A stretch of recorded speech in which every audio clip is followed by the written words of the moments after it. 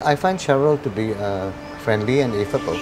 Cheryl, I want her to continue with whatever uh, work she's doing. 我觉得陈陈慧琳议员对我们老人很好，很帮助我们，有什么问题他会跟我们解答。 Uh, she's a very approachable kind of a person uh, where we can have a good communication. I'm appreciative of her as uh, one of the initiatives that uh, she has done up was the uh, employment work group.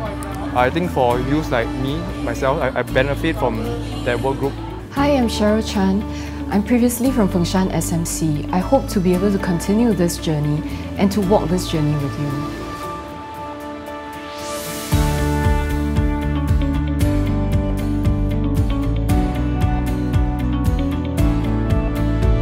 The journey has been quite fulfilling.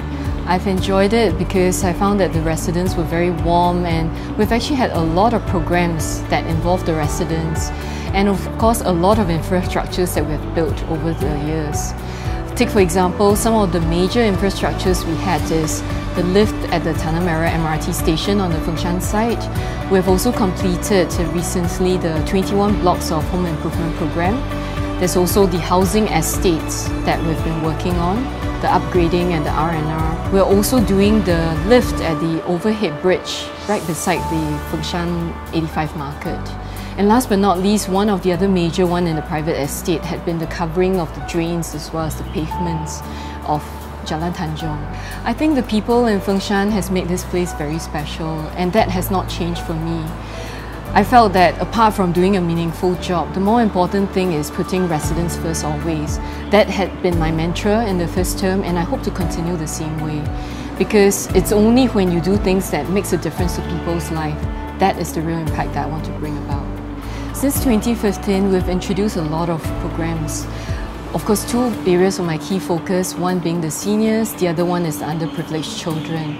We've done so many programs for the seniors, I hope to continue strengthening them, to bring more to the seniors so that there are things that keeps them engaged in the community, but also to get a livelier and better befrienders within the neighbourhood.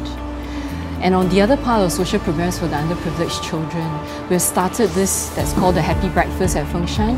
It actually enables the families from the underprivileged and the low-income ones to come together every month.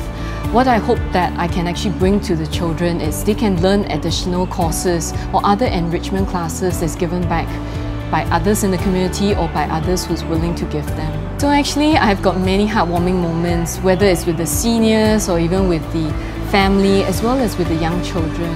But one special one that always comes to my mind is this little girl. She's very nice, although she has speech delay issues. But without fail, you can see that over the years she's improving herself. Now she can actually interact with people, although she doesn't speak very much, but her emotions and expressiveness always come as first. And I always get the big hugs from her each and every time that I see her, and I think that's one of a very touching moment for me. I'm Cheryl Chan, the candidate for East Coast GRC. I hope to have your support to continue this journey.